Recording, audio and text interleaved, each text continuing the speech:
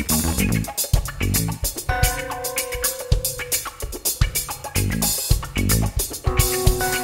a tutti e benvenuti a Giallo Book, le video recensioni sui libri gialli. Oggi vi parlo di un giallo davvero davvero bello ma che ha una piccola pecca. E sto parlando di I diavoli di Tokyo Ovest di Tommaso Scotti del 2023, di 316 pagine della Longanesi. Da un punto di vista di grafica bella l'immagine di copertina, belli anche i colori, belle anche le scritte in rilievo, meno bella la presenza del bollino, della sovraccoperta, della copertina rigida e delle alette interne.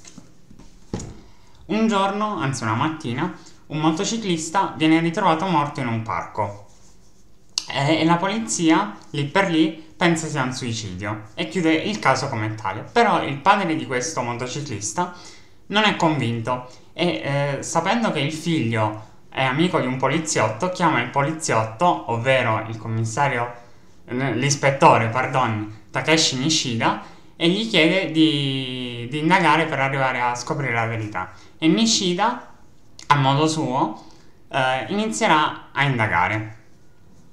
Da un punto di vista di trama, la storia ci sta.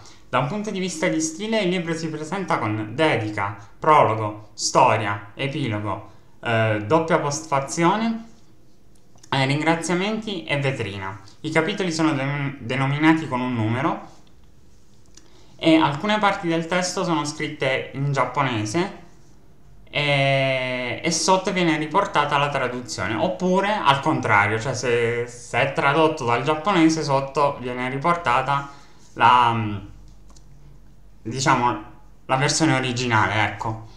E, di questo libro cosa mi è piaciuto? Uh, le soluzioni stilistiche il realismo Mm, l'immagine e i colori della copertina, le scritte in rilievo della copertina e la trama, mentre il, il finale, la, la, sovraccoperta, la copertina rigida, le lettere interne e l'uso di volgarità e parolacce sono le cose che a me non mi sono piaciute. Di questo libro cosa penso in conclusione? Allora, è un bellissimo libro, nulla da dire, una storia bella, avvincente, convincente, cazzuta, scusate il termine, cosa che Scotti sa fare alla, meraviglia, alla perfezione. È veramente, veramente bello.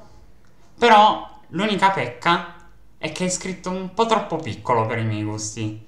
Quindi l'avrei preferito un filo più grande il, il, il font con cui è stato scritto. Detto questo, mi sento di consigliarlo a tutti veramente perché non, non ho trovato categorie che potrei escludere, ecco, da escludere. E detto questo, uh, fatemi sapere cosa ne pensate, se l'avete letto, se vi ispira, se lo comprereste. Vi ricordo che se vi piacciono i video che faccio considerate l'idea di iscrivervi al canale e attivare la campanella se vi va, che se avete dubbi o domande di qualsiasi tipo potete scrivere sotto nei commenti e risponderò appena possibile di eh, iscrivervi al canale di cui trovate il link in descrizione, di farmi sapere nei commenti se e quali nuovi format volete che io porti sul canale di modo tale che ve li possa portare, di condividere questo e o altri video del mio canale con i vostri amici e invitarli a fare altrettanto, di modo tale che più siamo e più ci divertiamo. Infine vi avviso che venerdì 20, eh, 29 pardon, sarò in live qui su YouTube al solito, quattro chiacchiere a tema libresco e non, quindi siateci numerosi e con le domande, grazie. Detto questo io vi ringrazio per avermi seguito fino a qui e ci vediamo a un prossimo video. Ciao!